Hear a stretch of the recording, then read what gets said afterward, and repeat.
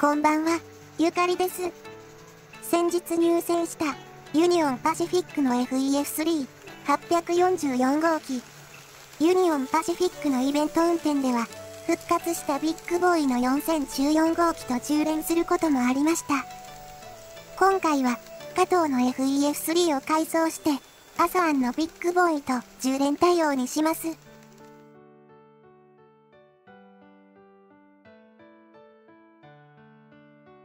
の FEF3 のスカートは2種類付属していて、左のものが充電対応のカプラー付きスカート、右がカプラーなしのスカートです。加藤の充電用カプラーはいつもの仙台車につけるタイプで、ゆかりさんが嫌いなタイプになっています。脱線しやすい先台車にカプラーがつくことで余計に脱線しやすくなるものです。カプラーなしタイプのスカートを加工していきます。充電用カプラーを参考に、スカートに穴を開けていきます。日本型の蒸気機関車でも施工している、加藤のビジネスカプラーを取り付けますが、稼働するようにネジ止めにしました。カプラー稼働しないと、ゆかり鉄道の急曲線を曲がるときに引っかかってしまいます。アサーンのビッグボーイと動力を強調させるために、抵抗器でモーターの出力を調整します。加藤の蒸気機関車は、基本的には同じ構造をしていますので、キャブを取り外して、ネジが止まっていますので、外すと、パカッと丸ごと外れます。ライトユニットの下にコアレスモーターが入っています。この赤と黒のリード線がコアレスモーターにつながっているようです。ここに抵抗器を入れます。ショートしないように気をつけつつ、テストをした結果、150オームの抵抗器を入れました。これで、アサーンのビッグボーイと FEF3 の速度特性が近くなりました。ゆかり鉄道駅構内で、ビッグボーイと連結して試運転を行います。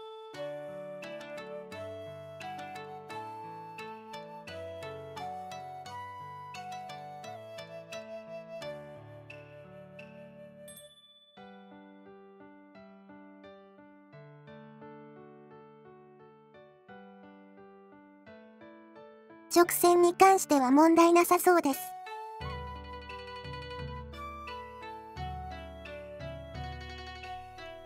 ポイント通過ができるか試してみます。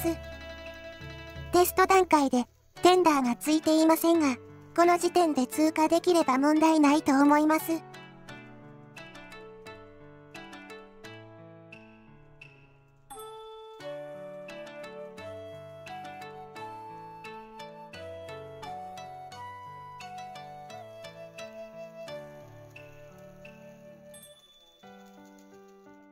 渡り線通過は問題なさそうですね。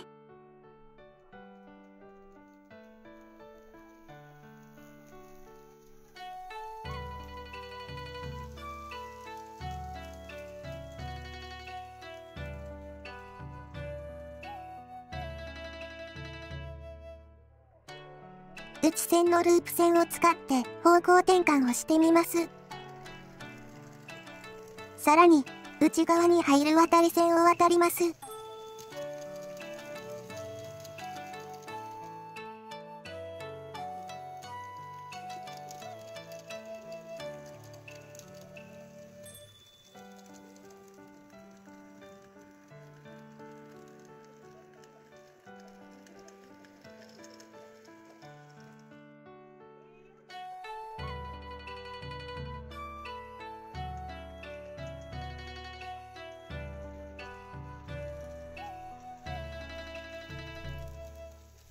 ゆかり鉄道線で一番厳しいカーブを充電状態でも曲がれました。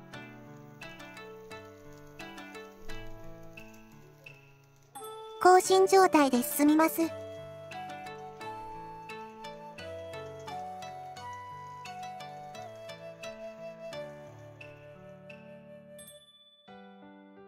進行方向を変えて、ループ線の入り口に来ました。この連続ポイントも脱線の原因になりやすいですが、いけそうです。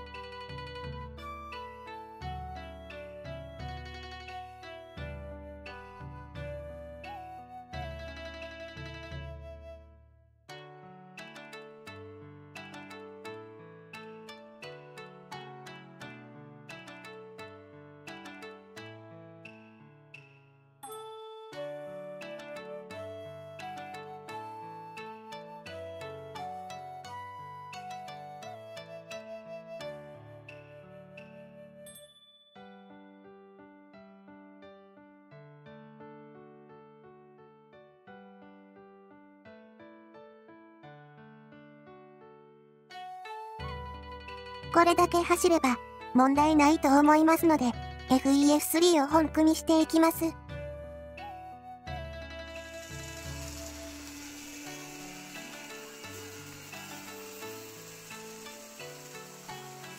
走り、装置の動きの違いで、ビッグボーイと FEF3 の動輪の大きさの違いがよくわかりますね。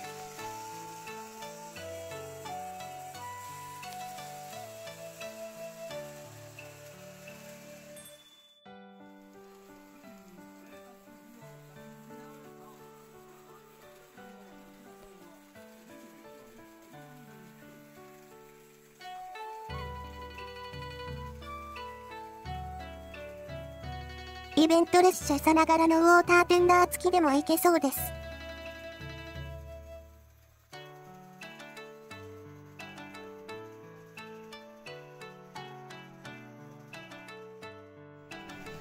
今度は実際の機関車の編成を模した編成です。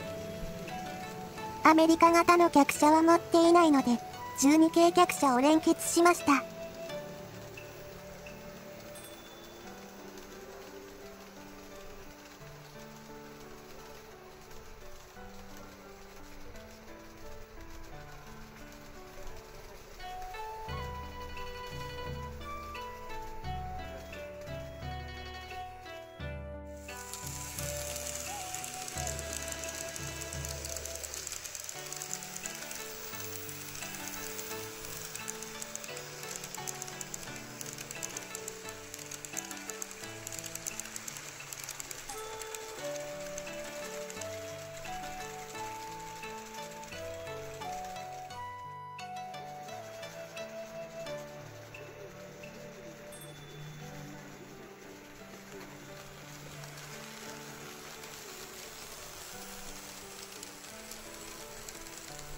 ゆかり鉄道に C62、2号機、3号機に次ぐ新たなコンビが誕生しました。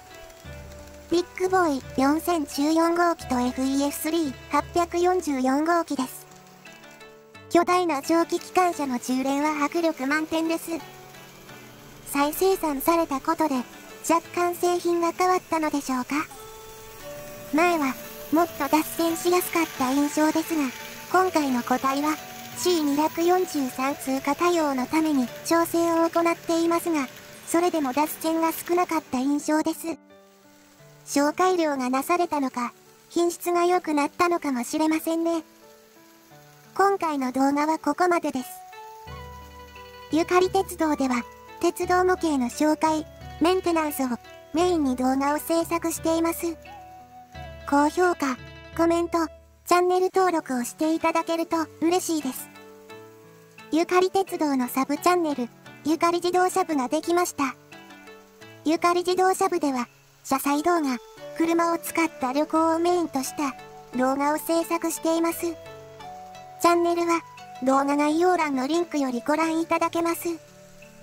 本日もゆかり鉄道をご利用いただきましてありがとうございました。またのご利用をお待ちしております。